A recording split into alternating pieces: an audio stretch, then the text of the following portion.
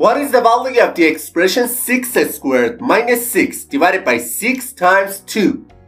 Which option do you think is the correct answer to this question? This question is very easy but it tricks almost everyone. Let's take a closer look and solve it together. To solve this problem, many people start by calculating 6 squared first.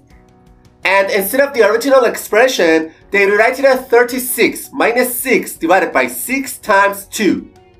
And the next step, they usually perform the subtraction between 36 and 6 and simplifying this expression to 30 divided by 6 times 2. Then they proceed by doing the division between 30 and 6 which gives them 5 times 2. And finally, they multiply 5 by 2, which ends up with the answer 10.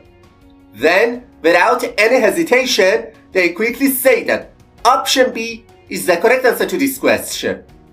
But that's definitely wrong.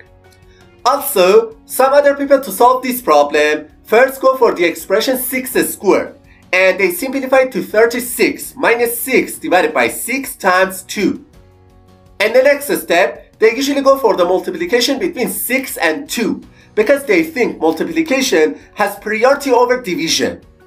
So, they write this expression as 36 minus 6 divided by 12. Next, they perform the division between 6 and 12 since they believe division has priority over subtraction.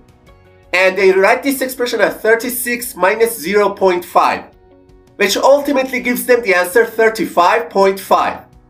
And immediately they conclude that option D is the correct answer to this question. However, this answer is absolutely wrong. Now let me show you step by step how to solve this expression properly.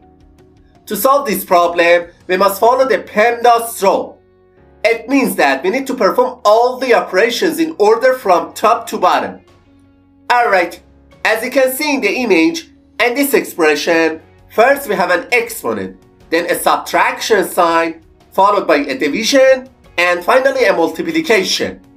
We should start with the exponent, because in this expression, exponent has a higher priority than the other operations.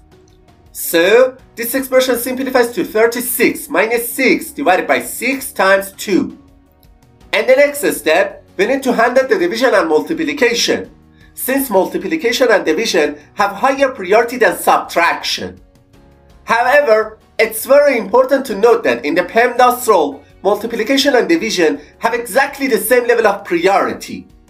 In this situation, the best thing to do is to start from the left side of the expression and move toward the right, performing division and multiplication in order.